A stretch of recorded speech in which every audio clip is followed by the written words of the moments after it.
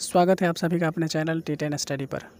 इस वीडियो में हम लोग बात करेंगे प्रकाश के परावर्तन के पार्ट थर्ड के बारे में।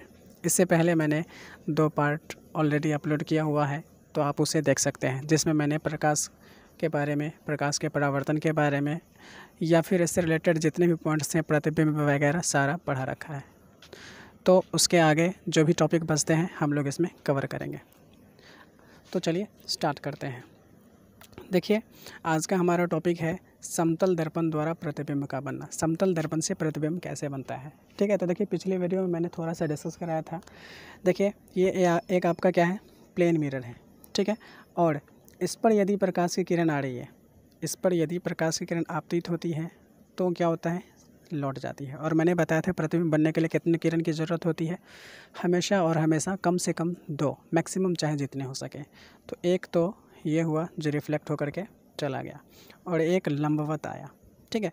और फिर से रिफ्लेक्ट होकर के ऊपर की ओर चला गया। तो देखिए, ये कहीं पर मिला, नहीं मिलेगा। ये इधर चला जाएगा, ये ऊपर चला जाएगा। तब हम इसे क्या करेंगे? काल्पनिक रूप से पीछे की ओर खींचेंगे और यहाँ पर मिलाएँगे। तो देखिए, यहाँ पर लाइट सोर्स था और यहाँ पर इसका इमेज बना, ठीक है? तो समतल दर्पण द्वारा किसी भी वस्तु का कैसा प्रतिबिंब, हमेशा काल्पनिक प्रतिबिंब बनेगा, याद रखिएगा, ठीक है? और जितना दूरी पर वस्तु होगा, उतना ही दूरी पर क्या बनेगा उसका? इमेज बनेगा। जैसा आप सीधा अपने घर में आईना यूज़ करते हैं, वह आपका एक समतल दर्पण का उदाहरण है। आप आईना के जितने नज़दीक आइएगा, देखते हुएगा कि आपका प्रतिबिंब उतना नज़दीक बनता होगा। और जितना आईना से दूर जाइएगा, उतना दूर आपका प्रतिबिंब बनेगा। ठीक है? देखिए कंपटीशन के एग्जामिनेशन में पूछा जाता है कि यदि कोई वस्तु समतल दर्पण की ओर एक्स किलोमीटर प्रति घंटे के रफ्तार से आ रही है, ठीक है? तो उसका प्रतिबिंब कितने किलोमीटर प्रति घंटा के रफ्तार से आएगी? तो देखिए, यहाँ पर उसका दोगुना हो जाएगा। अगर आप दर्पण की ओर मान लेते हैं कि पाँच किलोमीटर प्रति घंटा की रफ्तार से दौड़ रहे हैं, ठीक है? तो दर्पण में जो आपका प्रतिबिंब है, आपकी ओर दस किलोमीटर प्रति घंटा की रफ्तार से आएगा, यानी कि दो गुना तो ये कंपटीशन में पूछा जाता है, आपके एग्जामिनेशन में नहीं पूछे जाएँगे, ठीक है? तो देखिए समतल दर्पण से जो प्रतिबिंब बनता है, उसके क्या करेक्टर हैं? हम लोग आगे डिस्कस करते हैं। देखिए, ये पॉइंट याद रखिएगा। समतल दर्पण में क्या होता है? वस्तु दूरी और प्रतिबिंब दूरी क्या होता है? हमेशा इक्वल होता है।